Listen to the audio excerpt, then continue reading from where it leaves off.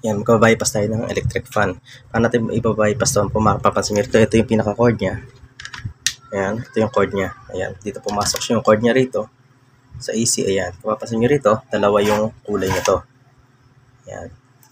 White and black. Ito yung galing sa AC. Ito yung galing sa saksakan natin. Yung isang cord, mapapansin nyo, pumasok dito sa may switch. Ayan. Ayan, sa switch pumasok. Tapos itong black, pumasok naman dito sa isang kulay. Dito sa may gray color. Ito. Ayan na. Gray color. Kung papunta to sa motor, ito. Ito papunta sa motor na to, ito yung kukunin natin. Gray color. Yan ang kailangan natin malaman. Kaya natin binuksan itong part na to para malaman natin yung pinakakulay kung alin yung hanapan natin kulay doon sa taas ng pinakamotor niya. Doon. Ito yung ayan, gray color. Itong isang white, disregard na natin to dahil ito ay papunta dito sa switch. Hindi yan yung kailangan natin o hindi yan yung hinahanap natin. Ang hinahanap natin dito ay itong kulay gray na ito nga yung pumasok dito sa ating papuntang motor. Ito sa taas. Papuntang taas tong gray na to. Yan. Para hindi na tayo um, mga pa. Kaya binuksan ko na to para mabilisan lang. Ngayon dito kasi maraming kulay yan eh. Ito yung mga kulay niya. Red, uh, white, tsaka yellow. Red, white, yellow yung kulay niya rito. Ito nga sa may speed natin. Ngayon dito, sa part na to, ito yung hinanap natin kulay gray. Ayan. Ito yung gray na to kung papasin nyo rito. Pinutol ko na to eh. Ayan, ito yung kaputol ng gray. Ito yung papunta sa motor. Ayan, papunta sa motor to. Tapos ito naman yung sa papunta rito. Ito, ito yung gray color. Ito. Ito yung papunta. Ito. Ito yung gray color. Napunta na siya rito. Ayan. Para hindi na tayo magpagapang pa ng mahabang wire papunta dyan.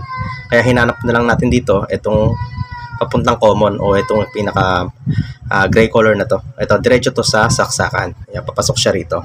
Ito na nga siya sa may ating uh, motor. Ayan. Pinutol ko siya rito. Ito yung papuntang motor niya. Ayan, wala na tong wala na to silbi. Disregard na natin 'yan. Ayan. O tapean natin 'yan. Wala naman nang kwenta to. Tapos itong pinaka gray color na to, nilagyan ko siya ng wire. Dinugtong ko siya dito. Dinugtungan ko to ng wire. Itong pinaka gray color, papunta naman dito sa ayan, papunta lang naman dito 'yan sa ating uh, capacitor. Ayan. Papunta sa capacitor. Yung sa capacitor may wire yan dalawa. Ito, 'yan. Ayan uh, putulin nyo siyang parehas or balatan nyo siya para maitap nyo yung ating pinagapang na wire. Ayan. May pagkapang ako dyan ng wire. Uh, balatan nyo sa isa. Ngayon, pag nabalatan nyo isa-isa, subukan nyo siyang ipaandarin kung aandar. Isa-isa lang ang tap.